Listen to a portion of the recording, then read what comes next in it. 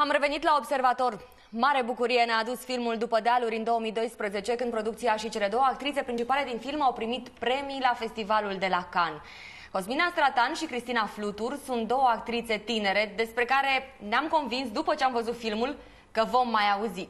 Și iată că așa e. Cosmina Stratan a fost nominalizată în programul Shooting Stars de anul viitor, care își propune promovarea tinerilor actori din Europa. Și este o reușită importantă pentru că toți ceilalți actori români care au trecut prin acest program au reușit să joace până și în producții de la Hollywood unul dintre ei. Ce așteaptă Cosmina Stratan de la această experiență ne va spune chiar ea, acum. Bine ai venit, Cosmina, și felicitări! Mă bucur să ne revedem uh, în acest context după mm. acela de colege aici Bine la Antena 1. Găsit. Ce așteptări ai tu? Uh, te așteptai să fii selectată în acest program? Știu că nu te-ai propus tu. Uh, nu te poți nu, nu. înscrie, Există nu? o comisie care propune, are câte o propunere uh, din partea fiecarei țări. Și această comisie m-a, propus pe mine de data asta și eu am trimis CV-ul, un reel și filmul în care am jucat Uh, iar Comisia Festivalului de la Berlin a hotărât, a selectat 10 actori din, nu știu exact câți au fost propuși, dar bănesc că fiecare... arată cifrele lor, lor pe site-ul oficial. Da. Dar ce veți face exact acolo? E ca un fel de casting? Uh, e ca un fel de casting, dar mai mare, puțin.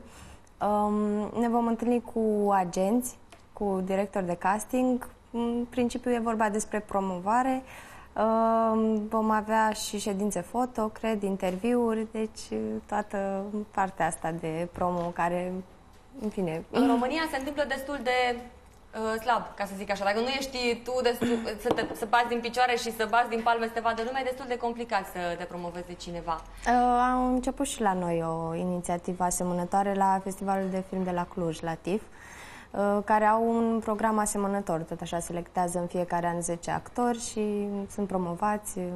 E foarte bine că au preluat modelul, aș zice eu. Da. Oricum, simplul fapt că se desfășoară programul la Festivalul de la Berlin, în februarie, dacă da. mă înșel, uh, cred că este bine că ești în mediul ăla, poți să cunoști oameni prin simplu fapt că te afli acolo, nu? Da, cam ăsta ar fi principalul scop.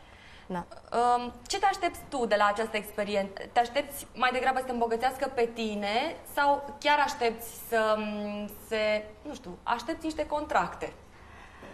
În, defin în definitiv, cred că da. Oricum e cam lipsește partea asta de autopromovare, așa că e de foarte bun augur uh, ce, ce să se întâmple în februarie la Berlin. Um, da, cred că lucrul cel mai bun care um, s-ar putea întâmpla ar fi să-mi găsesc un agent care să, cu care să colaborez pe viitor și mm, cu care să mă sfătuiesc în legătură cu următoarele proiecte. Ada Condescu a fost anul trecut în program, dar au mai fost și Ana Ularu, și Dragoș Bucur, uh, și Ana Maria Marinca. Ei toți, nu știu dacă conectat cu Shooting Stars sau nu, dar pe ei am văzut și în filme de la Hollywood. Crezi că a contat într-un fel? Cu siguranță. Au știut să profite de experiența asta? Cu siguranță și-au stabilit și la Berlin contacte, care i-a ajutat ulterior. Da. Tu cum îți vezi cariera? Mai degrabă către ceea ce se întâmplă la Hollywood sau mai, de, mai degrabă către filmul european? Sincer, Te întreb asta pentru că acum la televizor se vede un serial cu tine. Da. Sincer, mai degrabă către filmul european. Mă atrage mai mult și mă interesează mai mult din punct de vedere profesional.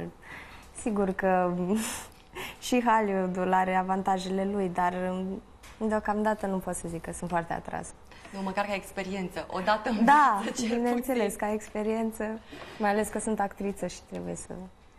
Iar partea asta cu serialul, cum ai ajuns să joci într-un serial? Rolul din După dealuri e atât de greu. Iar da. rolul dintr-un serial... Um, nu m-am gândit așa. Eu de obicei când citesc un script uh, mă interesează mai mult povestea personajul și, bineînțeles, oamenii cu care o să lucrez. Și așa s-a întâmplat și aici, la serial. Adică nu pot să zic că m-am gândit ca la un serial.